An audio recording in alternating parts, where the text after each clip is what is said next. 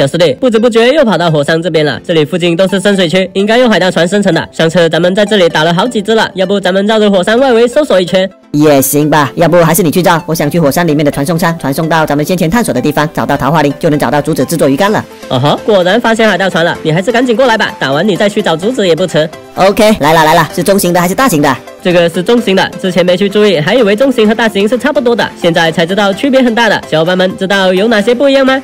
哎，你怎么三心二意的，又跑去打水母了？我来帮你吧，我也要收集点水母核心，稍后还要驯服海马呢。水母交给你了，我继续打海盗船喽。你傻不傻？用狙击枪打水母很难打中的。小师弟，海盗船已经被我打爆了，大概就在我这个位置。你有氧气背包，麻烦你下去帮我把宝箱里面的潜水装置拿上来哈。知道知道，已经在下潜了，不知道这次能捞到什么好东西呢？终于下来找到了，现在的大海还真有够深的，要是没有氧气背包，估计游一半就得嗝屁了。哎呦，比我上次多了一样东西哦，高级潜水服，那我必须来穿上了。这高级潜水服可以哦，不仅有防御功能，而且还有免疫水压的效果。另外两样东西你都有，那就留给我喽。好嘞，我这就上去。我的氧气背包低于百分之三十了，已经在报警了。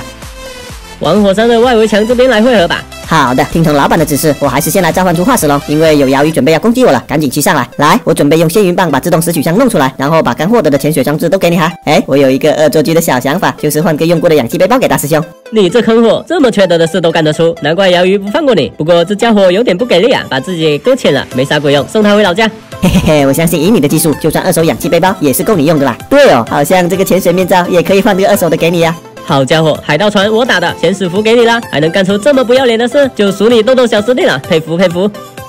好了，都穿上了，有点迫不及待想要下水耍一耍了。嘿嘿嘿，怎么样，呼吸还顺畅吧？不错不错，特别是有这个潜水面罩的探照灯，终于可以看清海底世界了。哎，对了，我可以到仓库里面把我的这个威震天皮肤换成卡卡的皮肤，应该就可以看到身上穿着的潜水装备了。哦吼，还蛮酷的嘛，有点像外星人的感觉。有机会我也搞一套。走了，游上去了。你的二手氧气背包就剩百分之十八了。嘿嘿嘿，我这个才消耗了一丢丢，不用羡慕哦。下次有新的，保证给你。不过这套潜水装备我还差个脚蹼，所以感觉游泳速度并没有变化，还是很龟速啊。小伙伴们，脚蹼是不是也在海盗船的宝箱里面可以获得的呀？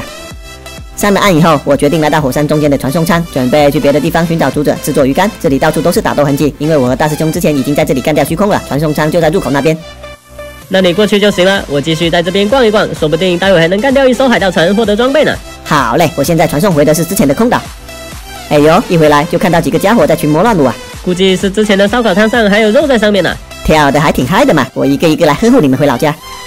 在空岛附近没有找到竹子，我又传送到我们最开始的出生点来了。没错没错，我记得附近是有桃花林的，骑上你的小飞鼠逛一逛哦，说不定你的狗屎运就要爆棚了。还是没有找到呢，不过倒发现了一个刚生成出来的渔村。大师兄，你要不要过来？这边也有大海，说不定也能轻松发现海盗船呢。也行吧，那我也跑回火山去传送吧。你就先别逛渔村了，赶紧去找你的桃花林，收集竹子，制作鱼竿吧。